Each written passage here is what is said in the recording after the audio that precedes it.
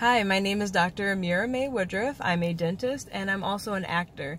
And currently, I'm helping other people realize that they're a lot more than just their nine to five career, and that doing other things to fight burnout is simple but really important.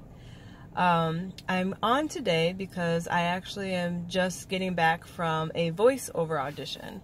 And I normally don't have too many of those, but something interesting happened along the way, and I realized that it happens a lot of times along the way. Um, please excuse my frizzy hair today, by the way. It's been it's been rough out here.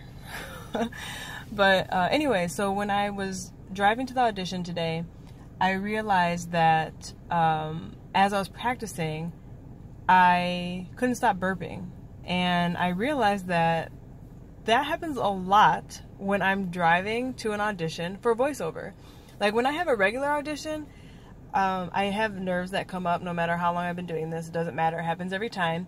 And I feel like my saliva gets thick. I can't swallow. I just like it. That's like the typical reaction I have. But for some reason with voiceovers, I can't stop burping. I don't know what it is. It's very annoying uh, because with the voiceover audition, I'm on the microphone only. So there's no face, there's no distraction from the voice. So I'm thinking I better not burp into this microphone.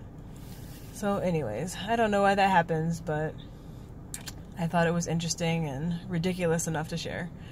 So, um, the audition was fun. Like I said, I don't have too many of them, so it's fun doing something new.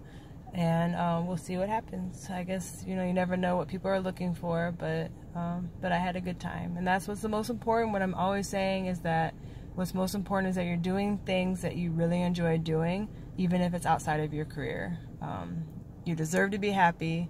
You don't have to stifle the other things you like um, to try to fit in some sort of box that either you feel like you're in or other people try to put you in. I hope you have a wonderfully blessed day and talk to you later. Bye.